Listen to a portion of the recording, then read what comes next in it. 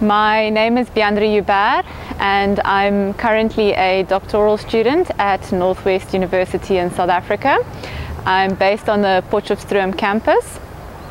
I am doing my doctoral study in international trade law and I specifically look at sanitary and phytosanitary measures as non-tariff barriers to trade in South Africa, but my interest extends further into the SADC region as well. And then ultimately it connects with the World Trade Organization's agreement um, on the application of SPS measures. I have a background in um, international trade law as well in the sense that I did my master's degree at Northwest University in import and export law and I have grown up with a farming background and have witnessed the practical um, application of import and export uh, from a very young age. So that's where my inspiration comes from. I am a Zimbabwean and I have a very strong connection with um, international trade, regional trade um, in Southern Africa. My research at IDEP has been focused on the topic perspectives on legislation and policy in three specific countries. And um, these were Botswana, Namibia, and South Africa. And the perspectives that I have been most interested in is the um, perspective of the protection of human, animal, and plant life and health within um, the context of SPS measures and the risks introduced by trade. So I have used a variety of a, mixed methodology to extract information in within the legislation and the policy to examine which principles of SPS and which broader philosophical concerns um, in the promotion of trade within Africa and within Southern Africa specifically in this case um, are present within the legislation and to what extent it can be seen um, or can be understood to be facilitating, facilitating trade within the context of the African Continental Free Trade Agreement as the legislation currently stands. My summary of findings shortly is as it stands, I'm not entirely convinced that the legislation is,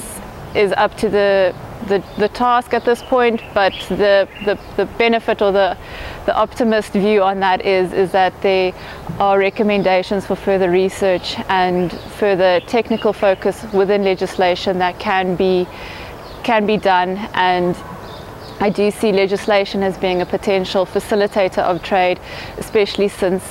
it is the authority which then delegates further application of SPS measures. And so having core legislation which um, is, is, is incorporating not only the technical requirements but the broader philosophy is vital to um, the furtherance of the goals of um, not only regional but continental uh, trade at this point.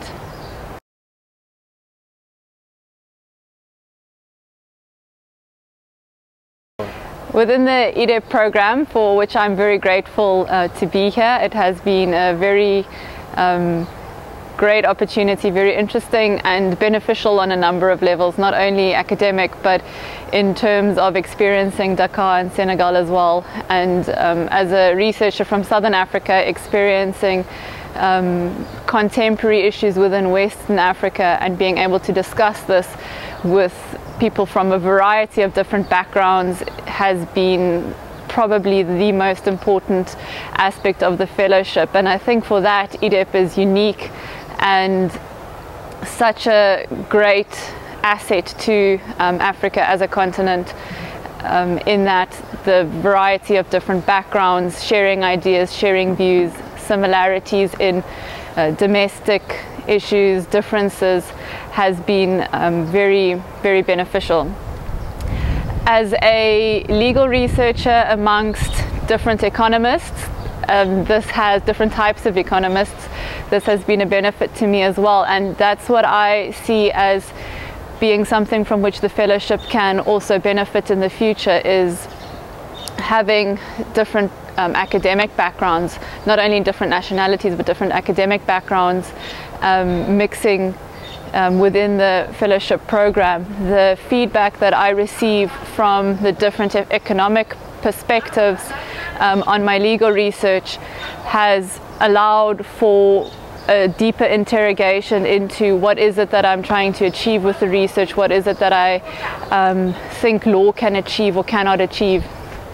And so um, in the future, I would like to see um, not only more legal backgrounds involved in the economic uh, development and planning or planning and development,